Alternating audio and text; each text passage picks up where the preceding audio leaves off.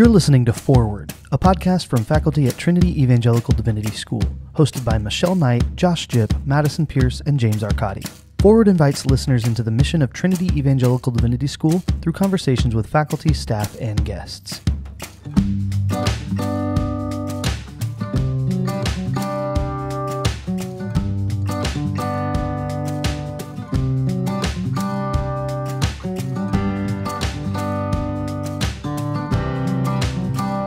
Madison, hey, it's good to see you today. How's it going? That's good, James. How are you doing? I'm doing just great, thanks. Oh, good.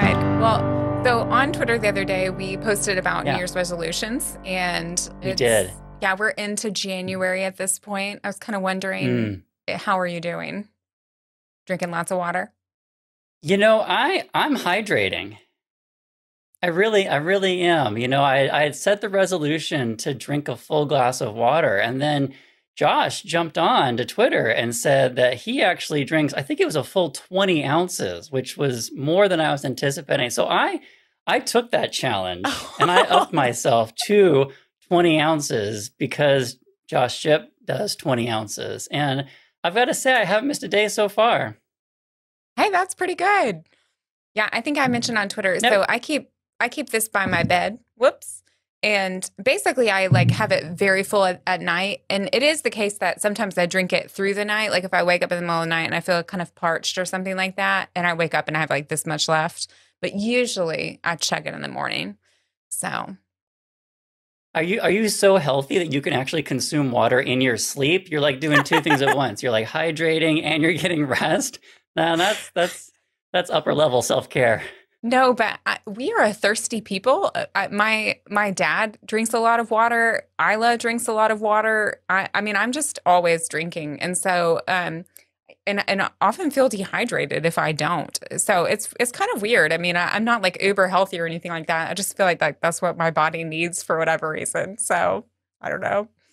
Hey, Yeah. I'm into it. Now your um remind me what your New Year's resolution was. I think it was a little bit more serious than than mine. I think it was more like being a better human being or something like that, not just drinking water. not remotely. Um, but it was really funny to me that it seemed like I had like I had taken this very seriously. It, normally, I would just kind of write something quickly or whatever. Everyone else wrote like a sentence or something, and I was like, "How is how is this that I'm the serious one?" I just can't imagine. Um, but yeah, so I had two. One was to do um, to improve my Spanish because um, I you know I've been Hmm, wanting to bueno. yeah, I've been wanting to for a while. Um, but you know, we we're our church is located in a neighborhood with um, a large Hispanic population, and I tried to use my Mhm. Spanish with some uh, locals one uh, day that I was there, and I figured out that my Spanish is even worse and and more rusty than I remembered. Um, but it's also the case that Isla loves Spanish. She's super into it. She keeps Mm. asking me what things are called, and she actually means like, "What is the Spanish word for this?" And so um, our two-year-old is like into it. Um, she Curtis jokes that she knows more Spanish than he does, and although he's joking, he may actually that may actually be true. He may not be joking. yeah, it's like a subtle whatever. But the other one, and I think this is the one that um, that you will find a- little funny, is that um, my other resolution is to be more structured. and I'm really surprised that no one has said, "Really, Madison, you want to be more structured." but it would be a fair fair thing to say. I, I I can't personally being a rather unstructured person. I can't imagine being more structured than well, I can't imagine being more structured than I am, and I'm unstructured. So Yeah, that's my so that's my thing. my my way of structuring is like setting aside chunks of time for certain things like uh, Mm. once the semester starts i do really poorly at prioritizing just sitting and reading as like just Mm. picking up a monograph and like reading it straight through and stuff like that and um, i really think it's an important practice and so um, i've Yeah. carved out you know an hour to an hour and a half a day like that's what i do as i read and what's interesting is um, although you might think like, well, then how in the world do you get anything else done? But certainly with my writing, if I set aside reading time, then the shorter writing time is far more productive because I actually have things going into my brain and out of my brain. So I don't know. That's what I'm Hmm. thinking. Yeah. Well, hey, that's cool. I mean, you do you, as we say, or as someone says, I guess. But I think I think that's that that's great, and we'll we'll check up on you a little bit. Uh, maybe we'll we'll ask you about how uh, you have to respond in Spanish as to how structured your life is these days. yeah, and I don't and think I'll, I can say I'll just drink yet. some water. Mas agua. Um, yeah, so we're about to jump into a conversation with President Perrin. Um, I do want to give yeah. a slight disclaimer. So my internet is terrible today. So if I I'm, i may interrupt uh, Dr. Perrin and Dr. Arcadi. So y'all forgive me out there, hmm. Foreword listeners. So it, we'll we'll make do whatever work, whatever happens. That's how we roll right. here Foreword. Thanks, James. Amen. Yep.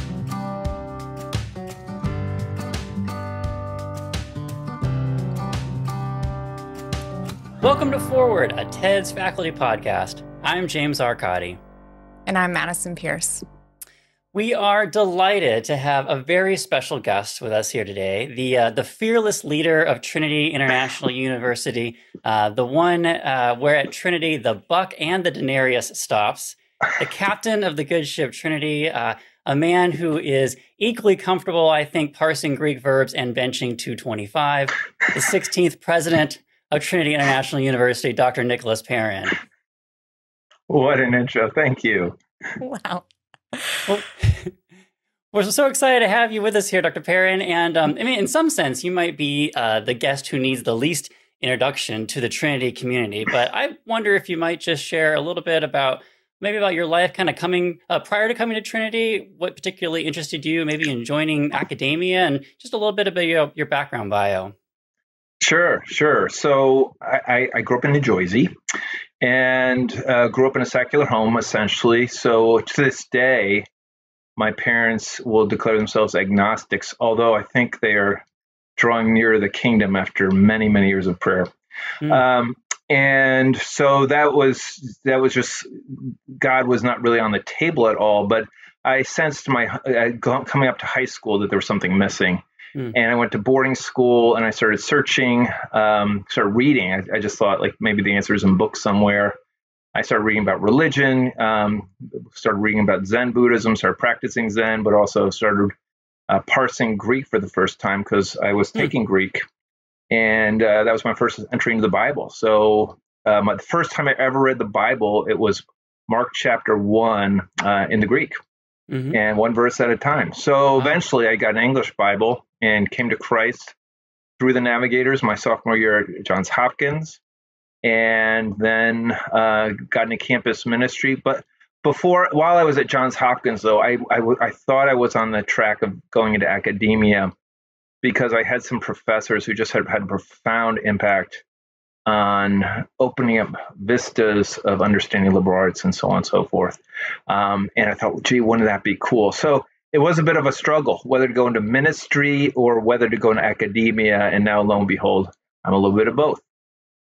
So it was it was kind of like a liberal arts like uh, entrance into both like the faith and studying the Bible. Is that kind of how it? yeah, that, I mean, I I came to Christ my sophomore year of college at Johns Hopkins University. I was in the English department at the time. Hopkins had one of the leading English departments in the country. Like Stan Fish was there. Um, you know, I, I had the medieval guy, uh, uh, Lee Patterson, and just you know the ability to how he handled the text um, was uh, was such an inspiration to me. Just um, I really felt that somehow I was going to end up with a life of learning, but I also just had a passion for ministry. Um, and after I came to Christ, I, I just I, God gave me his heart for evangelism, for sharing the gospel, for making disciples, and um, you know, eventually God brought me to a place where I could do both. Mm, that's cool. Yeah, and I know you've done a bit of work on like the historical Jesus and New Testament. Was it uh, was it that kind of like entrance into just kind of studying Greek and studying the New Testament in Greek that led to that particular area of study, or was there was there something else? You know, I think so. From okay, so I did uh, campus ministry for eight years.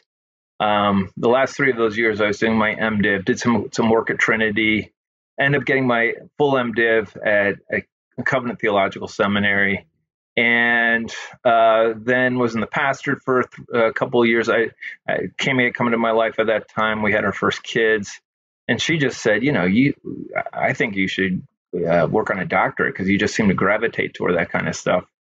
Uh, you know, not knowing uh, what she was getting herself into.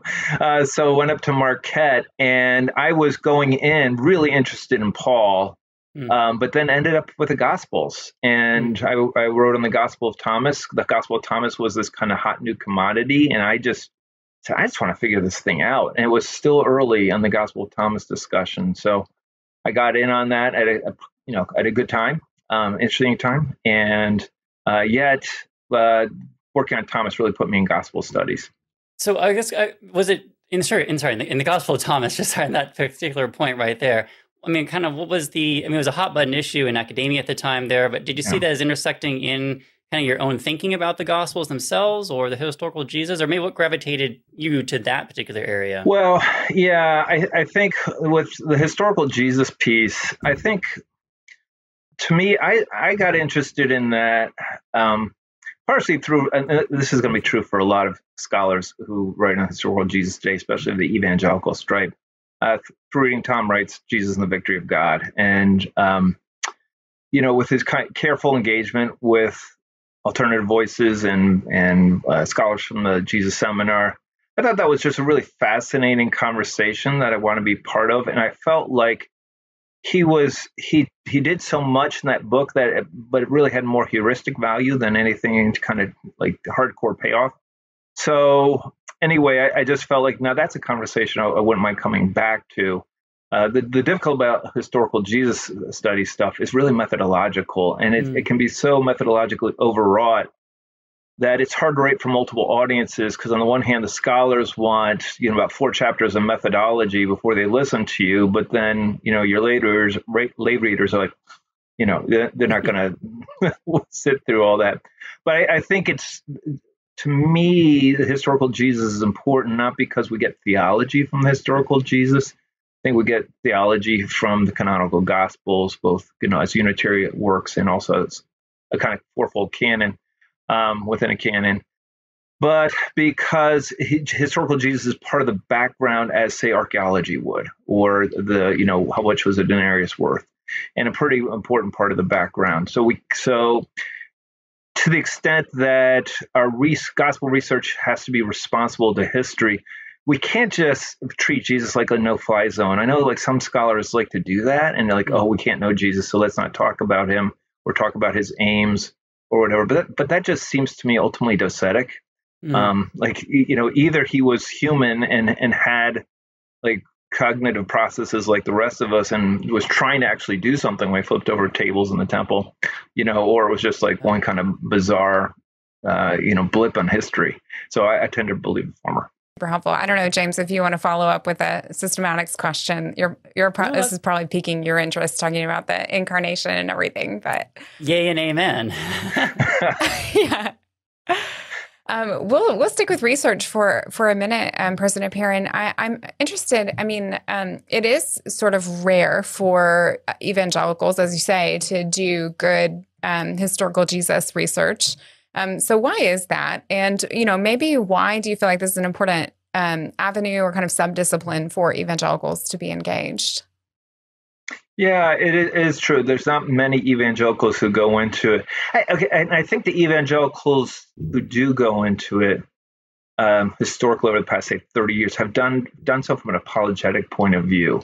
So kind of case by case salvage job on one pericope at a time. Here's why it's historical which is which is useful. Um, but I, I, think on the left, scholars would say, well, that's kind of fairly predictable and, and feels tendentious. And um, and then w- how do we really do anything constructive with that? Except, and is this just a way of kind of ending up with a canonical Jesus again?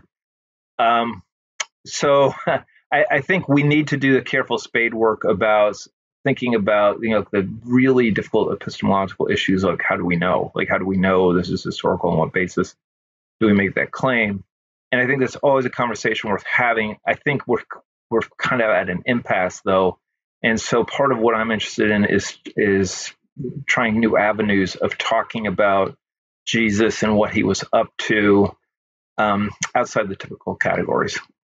And i think i think it needs to be done again because if if in evangelicalism we treat historical Jesus as this kind of no fly zone, I do think we end up with kind of docetic, implicit docetic Christology, where we say, oh, we can't really know about that stuff. So um, we, will just work with the idea of the of the cross or the idea of the resurrection. Yeah, great. Thanks. James, you feel free to shoot me down as a systematician. I, I don't know, but that's no, no. that's my theological hunch. No, I think it's good. I think these are good. These are good things, and I appreciate the being able to, you know, see the theological implications for the work that's being done, and trying to see those, you know, disciplines as working with each other, and and and what have you. I think that I think that's great. Um, I, I, guess as I understand some of the way you've um, been thinking about your writing on the historical Jesus is it's it's been kind of a trilogy, or it's kind of a trilogy that you're sort of focusing in on uh, here, um, like many good works of uh, writing out there in the world. I wonder if you might be could give us a little bit of an overview or a sort of précis of of, of, of that work and the kind of the shape that that's taking for your own thinking. Well, sure. So I wrote Jesus the Temple a long time ago, like so that that came out in 2010. Um, and Jesus, the Jesus the temple is where I make the initial argument that the historical Jesus uh, considered his own body um, sacred territory, and then by extension, the space he occupied. And the and Jesus the priest, which is the, the sequel to that, um, is really the kind of the logical next step. Is if if Jesus' body is sacred space, do we go on to say that he had acquired priestly functions, and of course, I argue he did. And then, you know, uh, I'm not going to go like to the six series of Star Wars or anything, but we'll stop at three, and then just say Jesus' the sacrifice. Um, it's going to, you know, go into, and, and here's where I'm going to like need you theologians to kind of bounce off on, is um, you know the idea of atonement. and What what did Jesus have in mind? What were his categories when he's thinking about atonement, uh, and how did all that work? So I, if I can follow up oh. briefly, I mean, I, I no, can't please, let a, please, a, a, conversation like this go without some kind of Eucharistic connection, at least, or, or at least sort of baiting a Eucharistic connection. Yeah, do you, do you to- see that playing out there, you know, in a totally. sort of systematic fashion? I mean, I, I, think most, I think a good chunk, I, I, anticipate a good chunk of the book is going to be focused on the Lord's Supper. Um, and I, I just find that moment with the disciples fascinating uh, for so many reasons. And um, you know, what's interesting to me is uh, okay, so the, you have to create have the extra step of saying, okay, we got what the gospel writers say. What can we reconstruct about what actually happened? And I think what you can get to is Jesus do some kind of equation between the bread and himself. You know, uh, this bread, like it was in Aramaic, this bread I, this bread me. You know, without the since the Aramaic doesn't have a, a linking verb.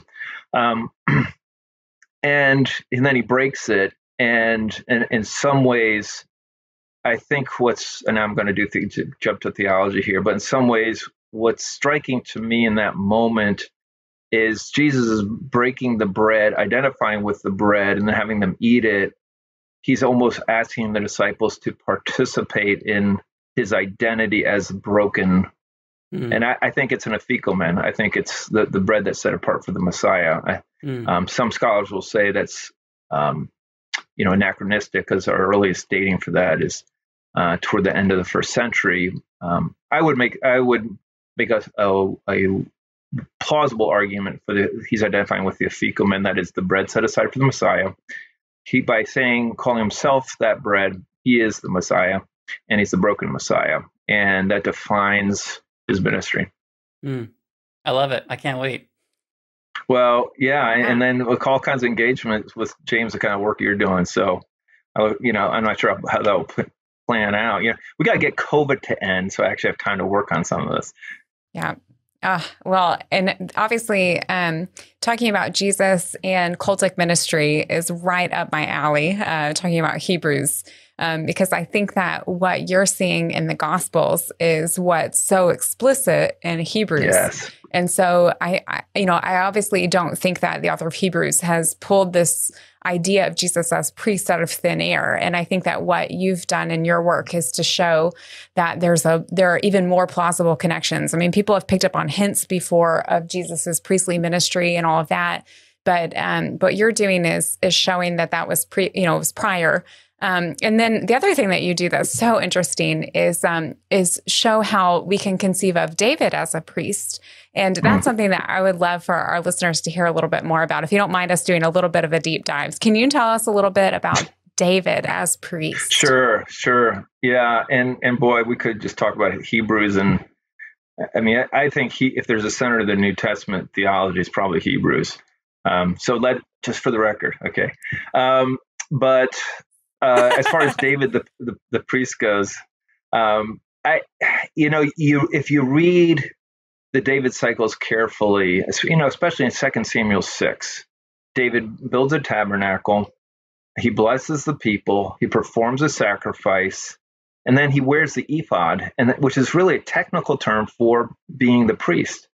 So he takes on all these roles that are distinctively and indeed uniquely priestly.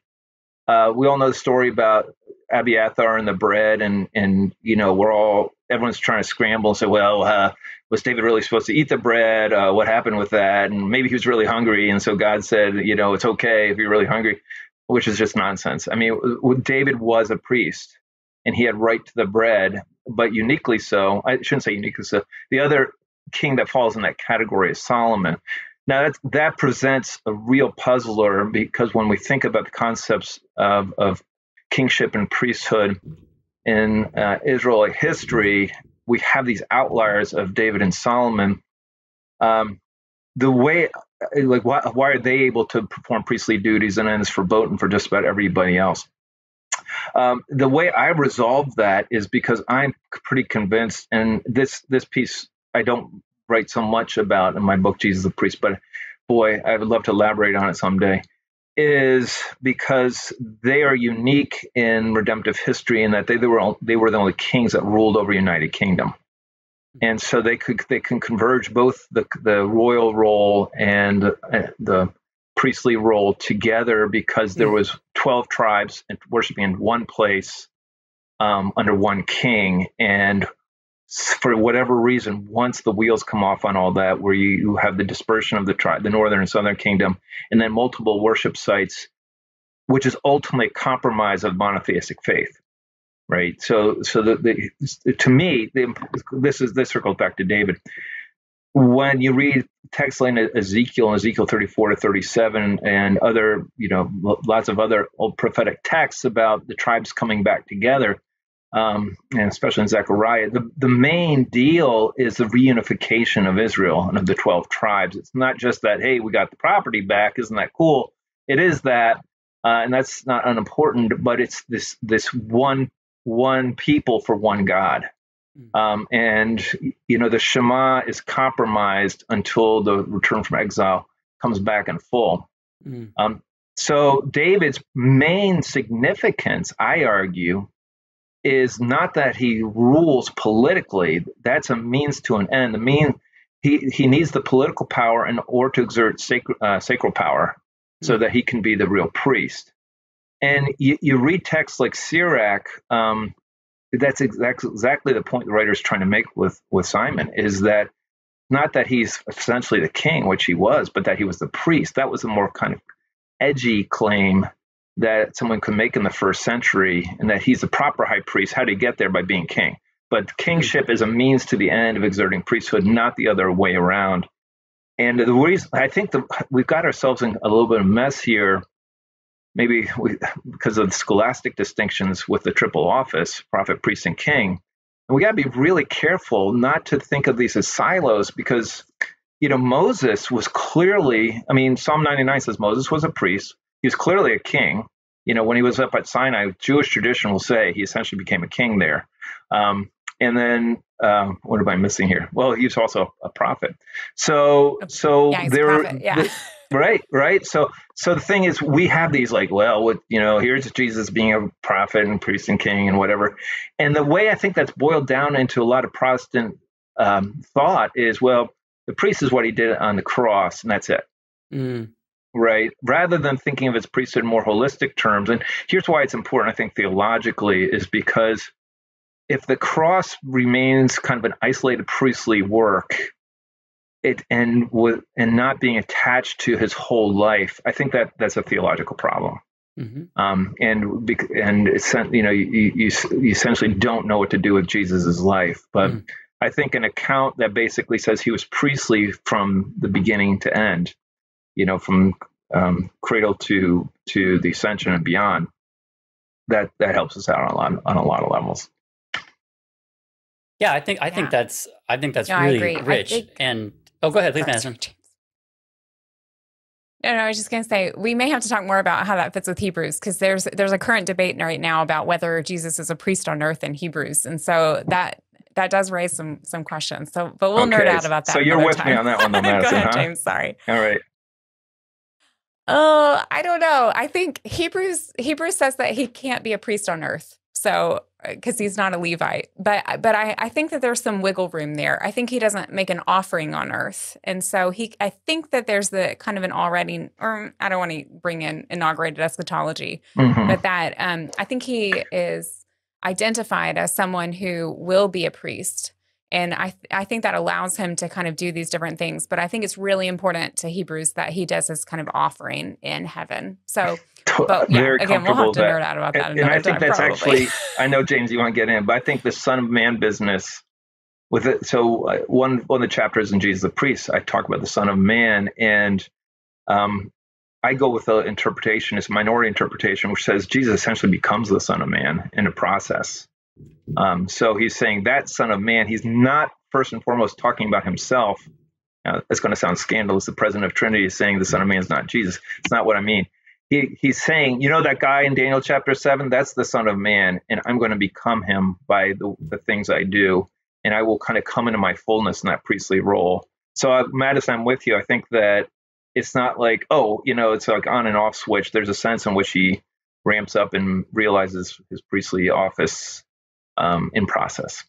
Well, i think that's totally cool and i was just going to um, offer another sort of point of systematic theology to like as a conjunction here something i've been thinking about which is having to do with the, the image of god from you know from genesis and thinking about our theological anthropology. And and we've uh, seen an interpretation of the Imago Dei being this functional interpretation, but I've been, you know, pondering whether or not we can have like both, both a royal functional interpretation and a a sacerdotal or, or priestly functional mm. interpretation. And so, and I would see those two as, as coalescing, and I was seeing right. as coalescing in Jesus. hadn't thought about seeing it coalesce in in David as well, but I think that's a really you know provocative point and you know one that is more grist for my mill, I suppose, in thinking about theological anthropology. So Cool. Thanks. Cool. Boy, we could go on for hours yeah, on this and, stuff. And, oh yeah, in in Second Temple literature, you definitely see Adam uh, or like a return to like an Edenic state um, yeah. as a, a, big highlight because Adam is is certainly envisioned as a priest. So I think that's that's not just a Jesus David thing, but I mean, it's from the beginning. So totally yeah. right. So wherever you see Adamic Christology, you could argue I mean, I think that's what's going on in, in, Luke chapter three with the genealogy: son of son of God, son of David. Mm. I mean, son of you know Adam, son of Adam, son of God, and then he, he's the baptism in a sense is basically conferring on him a Adamic type status. That's cool. Yeah. Yeah. Well, I mean, I, I love the the academic uh, conversation here, and this is really rich and, and, insightful as, as well. Um, I wonder, just maybe shifting gears a little bit. I mean, clearly you you're an accomplished scholar. You've been doing a lot of teaching, a lot of writing over the course of your career, and and you've, you've had this move in the last couple of years into university leadership and administration. I'm just kind of curious about how that came about, just your openness to that kind of a move. How does that fit with your past work and sort of what your vision is for moving as a, you know, as a scholar, teacher, writer into into leading an institution like Trinity? Yeah, great question. You know, um, I, I was a pastor first. So and I and I my first job out of college was campus minister and then I was pastor. So those are those are obviously leadership roles. Mm. And when I went into academia, I, I, I always found myself pastoring here or there, either as a temporary pastor or as a preaching pastor. And so that was always kind of, I always felt like that was a necessary component. And, and for three years, I was a chaplain at assisted living home. And, um, and that was actually, it just felt like such a key piece. And, but always like in a leadership role. And, you know, and then 2010, my wife and I started a not for profit. And, and then that that so the leadership piece and, the starting something new piece has always kind of been in my wheelhouse. Mm. Um, when in 2012, just through actually a weird chain of circumstances, I, be, I became like not that weird, but I became dean of the of the grad school at Wheaton and did that for five years and really enjoyed it and just really enjoyed moving vision forward. And I think, you know, what jazzes me about scholarship is similar to what jazzes me about administration and, and a higher leadership. And I think what I really like about scholarship is a chance to be creative, to to to like see new patterns in the same old data, to be constrained by data. Like you just can't make stuff up.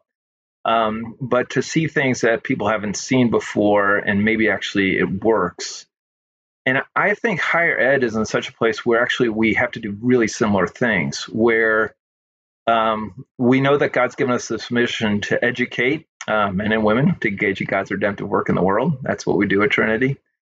But the old models are really being challenged by disruptions, and the pandemic has really accelerated that disruption. I don't think the pandemic is actually bringing a new reality as so much as moving so much more quickly to hmm. uh, to Z and then we have to figure out what to do from there. So what um, I think what we have is this, we have to be data driven in our decision making, but it's a time to really be creative and um, and you know what I really I enjoy that piece and um, and there's a pastoral piece to it too. So that's kind of how I connect that's the threads there. That's excellent. Yeah. Well, um, so you and I, President Perrin, we started, I think, within like a month of each other here at TEDS. And that means that both of us have the distinctive privilege of having our first year at Trinity, um, or, Ooh. you know, for me back at Trinity, uh, marred by the pandemic in some way. I think we should definitely get some kind right. of patch or something.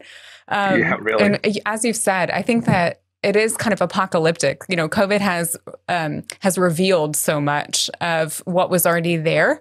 Um, I, I wonder, I, we we're probably acutely aware of all the difficulty that has come in this, but I wonder what are some of the things that COVID has done that will shape us for the better? Some of the things that will push us in good directions, at least in your opinion. This this can be in society more broadly or Trinity, whatever, whichever way you want to take the question. Well, yeah, great question. I, and I think I think in educational sector, um, you know, we educators tend to be very conservative in the sense that we can be we really get really attached to certain modes of pedagogy. And oh this like you know i had a favorite podium and this was the like dry erase marker i'd always use and like nothing. And we we can say uh, but i can't imagine teaching any other way right without my dry erase marker. Well what covid has done is actually disrupted us to the point where we're forced to teach you know synchronously or different ways. Some faculty even trinity have never you know taught that way before and then found out it wasn't so bad. And actually, there's there's some advantages, uh, there's some disadvantages, but it's it's not the end of the pedagogical world. And so that so that forces us to be uh, more flexible. And I think that flexibility is going to be necessary to go into the future, because you know. Um, it, it, like the thing about the future is we just don't know what it's going to look like but i do know this is we're going to have to be flexible and, and figuring this out like how do we continue with our mission going forward. So I, I appreciate uh, the pandemic for that. I also think, you know, the pandemic is almost like a test of character in some ways. And for some people, it's, um, you know, with the ice, maybe it's this partially a result of the isolation. It's um, made people more uh, insensitive to other people. Mm. or actually revealed insensitivities. But I think for a lot of us, it's like, you know, it, I'm sure that each of you have had the experience where you're approaching someone you haven't seen for a while, and you don't know is does this person bump elbows? Does this person want to stand at 10 feet from you? Like the awkward kind of COVID greeting, like figuring each other out. And, and what that does, kind of on a kind of personal level, is makes heightens your sensitivity to to other people, just on one-on-one encounters, and like what they're comfortable with um, like you know we all try to be safe at, at Trinity, but it's and, but everyone's on a different spectrum in terms of their you know comfort level, and I think that's a good thing. And I think that's actually you know what Christ calls us to is just always be thinking about the other person what makes them comfortable, not what makes you comfortable. Mm. Yeah, that, that that's great. I mean, maybe just looking in your crystal ball a little bit, or maybe not even you know the details, but looking to the future, what are some things you kind of you kind of hope for for TEDS uh, specifically, or Trinity International University in, in generally? What, what do you kind of hope for the future for us? Yeah, well, I think I think one thing that I really hope for the for the future is that we could do more to to bring like this great TEDS experience that you guys are part of and, partially responsible for to the world. And we know that the world's coming to us. You know, one of every five of our TED students is international, and that's great. But think of all the countless uh, people, uh, internationals who would love to be TED students, but just don't have the resources for that.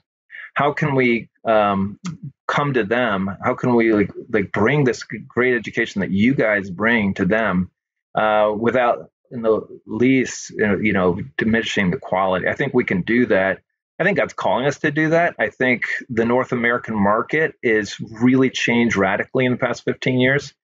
And I think it's God's email to us to say, hey, why don't you think more about outside of, of the traditional, like North American market? Oh, that's great. I, will say, let me say one more thing, and I think no, it has please. to do with, in order to really bank on that, we have to do, we just have to do better on diversity.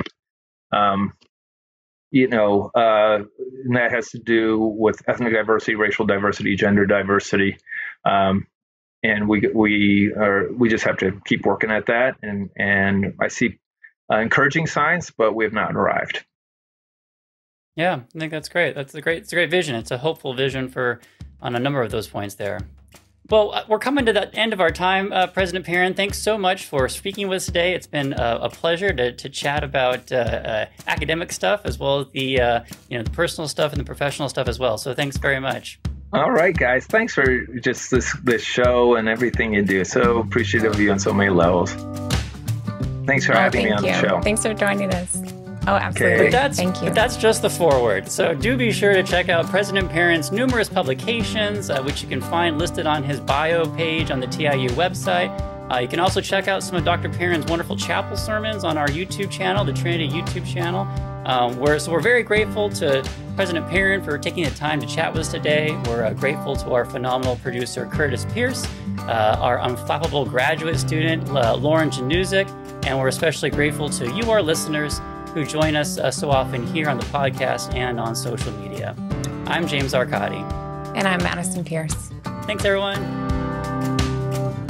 Foreword is a podcast hosted by faculty at Trinity Evangelical Divinity School. You can subscribe to our newest episodes on your preferred podcast app or at forewordpodcast.com. Be sure to follow us on Twitter and Facebook at Foreword Podcast to get updates and additional links to content. Trinity Evangelical Divinity School is located 25 miles north of Chicago, with extension sites across the country and online. Trinity educates men and women to engage in God's redemptive work in the world by cultivating academic excellence, Christian faithfulness, and lifelong learning. You can find more information at teds.edu.